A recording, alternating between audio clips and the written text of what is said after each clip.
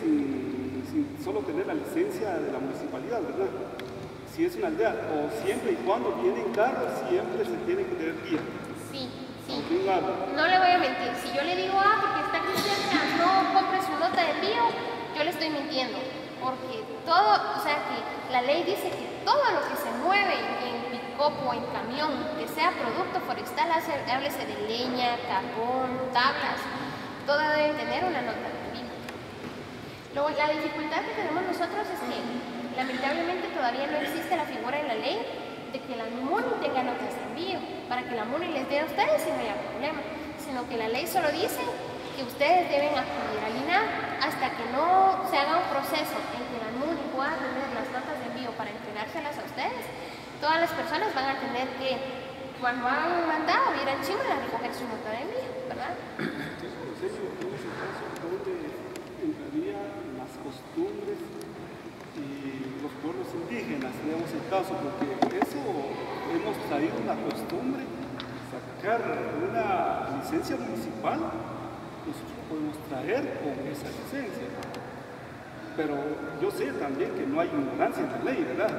Pero tampoco hemos tenido el acercamiento de ustedes informando sobre eso. Y esto se volvió una costumbre y ahorita la gente que trae eh, la leña, la policía, tiene el derecho de tenerlo, pero a veces también ahí viene el conflicto, ¿verdad? De que la gente dice, ¿cómo es posible si yo tengo 50 o como dijo el señor técnico, 25 o 50 quetzales? Supuestamente ese es mi pasaporte para estar cayendo. Pero ahorita dicen, no, tenemos que sacar una guía. Yo creo que allí es donde tenemos el conflicto. Yo al menos, eh, la población en general, también ahorita estamos viendo. Si hacemos todos esos trámites, imaginemos ir a Chimaltenango. Son 10 quetzales, más 15 quetzales el día. Y para cortar un árbol que sea pequeño, se gasta más. Y eso es lo que estamos escuchando ahorita. De que la gente dice, si vamos a hacer todos esos trámites, ley. Entonces ahorita, ¿quién sale perjudicado? El consumidor, ¿verdad? Entonces, eso es lo que queremos lograr realmente con nuestra reunión ahorita, que nosotros también estamos eh, en la ley de la ¿verdad? En el artículo 2 dice que las políticas nacionales se tienen que ser políticas municipales con la participación del pueblo. Entonces, ahorita nosotros, que el 17, el año 2017, esto pues, ya se cierra el convenio que se ha hecho en la municipalidad, podemos entrar a esto y al mismo tiempo dejar cómo se ha venido trabajando, porque si no, aquí se va a crear un, conflicto porque la gente dice, bueno, si nosotros hacer esto, vamos incrementar, y si no incrementamos, reducimos el tamaño, y la gente de la población dice, ¿qué hacemos?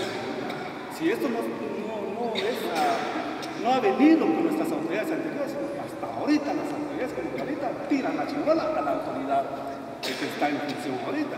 Entonces, y eso queremos ahorita controlar, como le digo, el artículo 2 de la ley de descentralización, que es parte también que, que podríamos hacer esos trámites de ir a los 15 quetzales, y ya estuvo, porque ahorita mucha gente dice, "Bueno, ahorita no sabe cómo vamos a hacer, pero la verdad, pues, tenemos que traer ley a cómo.